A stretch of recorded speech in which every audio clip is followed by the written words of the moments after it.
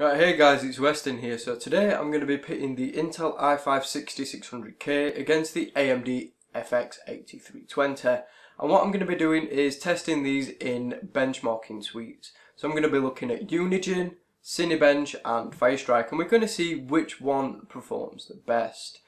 Now before I do that, I'd just like to quickly thank XFX for supplying me with the R9 390X graphics card and the 850 watt power supply. Without them this series would not be possible, so thank you to them and all their links will be down in the description. So now let's uh, take a look at the comparison and first off we're going to start with Unigine. Now, I know Unigine isn't exactly designed for this type of scenario, but if one CPU is better than the other, shouldn't that mean that one will score higher than the other? At the end you get some results, you get a score and you get an FPS, and if one is higher than the other, shouldn't that technically mean that one CPU actually does perform better and brings more out in the graphics card? So what we should see in the end is one CPU should be higher than the other and get a better score and also a better overall FPS. So the benchmark is actually coming to a close now, so we'll see at the end which actually gets the best score. So you can see the scores are coming up now, and both scored really well, but you can see, even though the AMD did finish first, the Intel did get the highest score. So from my understanding, I believe that the Intel is actually better in this regard. Even though the AMD did well, I think the Intel actually outperforms it in this one. Now I know it's not technically designed for that, but it got a better result. So technically that means in this respect it performs better. So here is a Cinebench CPU test and what this does is it tasks the CPU to render a photorealistic 3D image. Now whichever gets the highest score at the end of this test will be the fastest at doing these types of workloads. And you can see above the videos is a real-time indicator of how long this task is actually taking. And you can see the AMD is actually flying through this and it's almost completed the finished render. The Intel on the other hand is doing it much more slowly. So you can see the AMD has finished 1 minute 13 with a score of 549. The Intel is just finishing now and scores 432 at 1 minute 32. So you can see the AMD has won pretty much outright in this regard. So next up is Cinebench's GPU test. And what this does is it tasks the GPU to process this 3D car chase scene.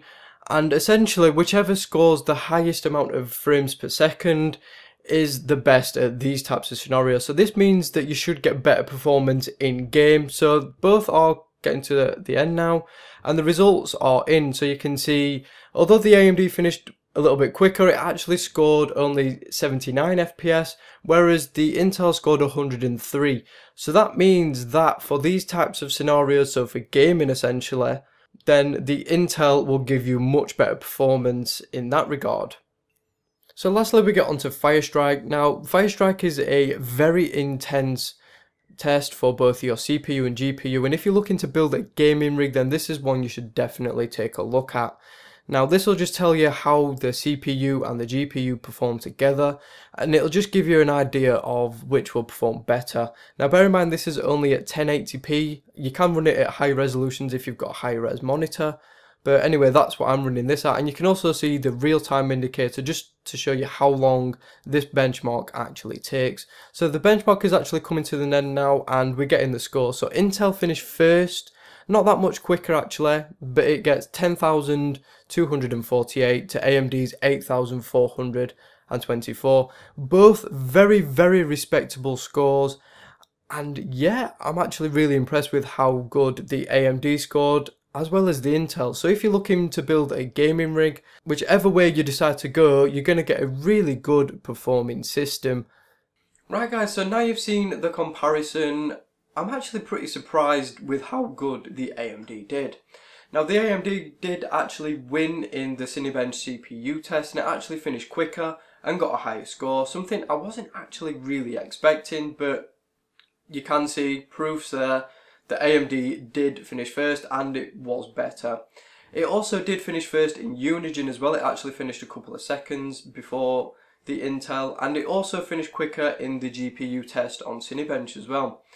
Now, again, I'm really surprised at that, but although the AMD did finish first, the Intel actually scored a little bit better. So on average, the Intel outperformed the AMD. Now, I'm not saying that the AMD is bad. I'm actually really surprised at how good, even to this day, the AMD still is. Now, Intel's architecture is like really new, whereas the FX architecture is really quite old now and it's uh, quite a few generations back.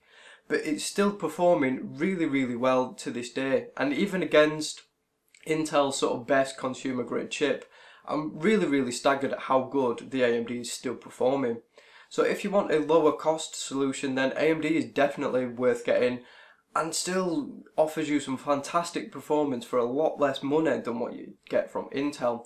Now, the Intel did obviously win in this situation, but that's not surprising. I mean, in these types of situation, Intel usually, usually is a little bit better than AMD, but like I said, AMD still surprised me, and you're still getting a really solid performance from the AMD system.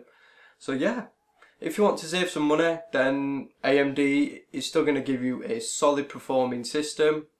If you want that little bit extra performance and you're not bothered about spending a couple of hundred pound more, then the Intel does offer you that slight performance boost.